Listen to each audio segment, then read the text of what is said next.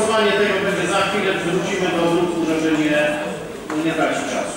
Zamiar rozwiązania zespołu szkół specjalnych nr 13 ulica Szopkarza 8 o rozwiązaniu likwidacji szkół wchodzących w skład jego, wchodzących w jego skład. Druk nr 1109.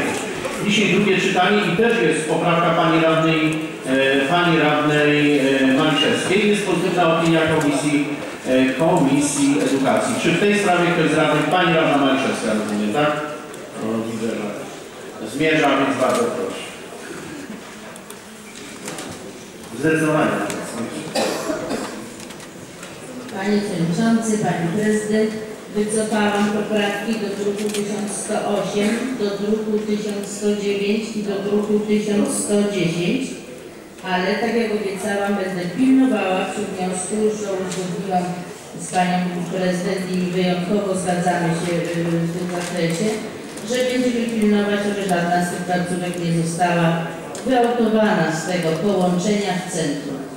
Dziękuję. Złożyłam na piśmie, Panie Przewodniczący. Rozumiem, czyli poprawka jest wycofana. Czy ktoś z Państwa radnych chce zabrać głos? Pani radna Tatara, bardzo proszę.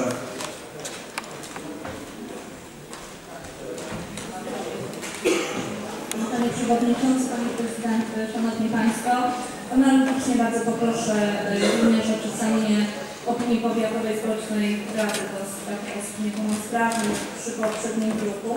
Tutaj jedna uwaga tylko przy poprawce. Y, SIEM na jakiej podstawie tutaj zbierało informacje dotyczące liczby osób, to było medyczne, jakie dane, z jakich danych. Y, Brakuje mi tutaj w tym ośrodku y, ewentualnie co się będzie działo z dziećmi z autyzmem, które pozostają w normie intelektualnej. Nie ma o nich słowa. Dziękuję. Z tym, że ja rozumiem, że my teraz dyskutujemy tylko o poprawce, która zresztą została wycofana. Więc taką mamy ciekawą dyskusję. Czy w tej sprawie ktoś z Państwa radnych jeszcze chce zabrać głos? Nie widzę. Rozumiem, że opinia w sprawie już może Pan przedstawić. To w tej i poprzednim druku i rozumiem, że to będzie do następnych tam też się odnosiło. Opinia jest do wszystkich trzech grupów jest pozytywna z dnia 7 stycznia 13 2013 roku. Nie jest teraz. Dziękuję bardzo, czyli rozumiem, że jest opinia, czyli formalności stało się zadość.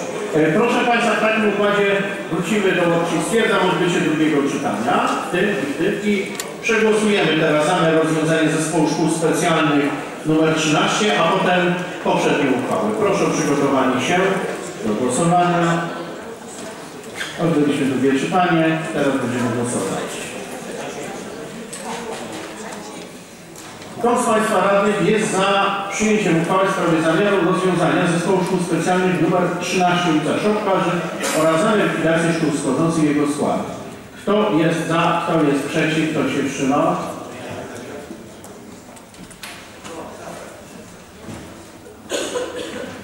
Proszę, wynik.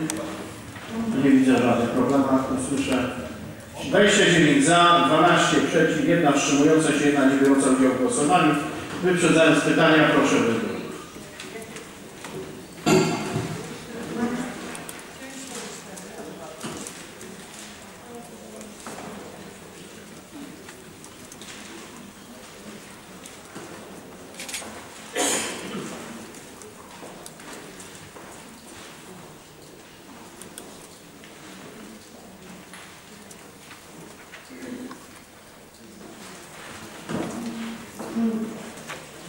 Dziękuję. Wracamy do poprzedniego grupu zawieszonego.